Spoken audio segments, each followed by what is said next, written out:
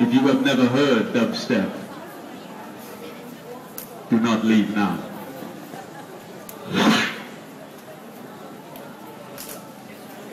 Mm-hmm.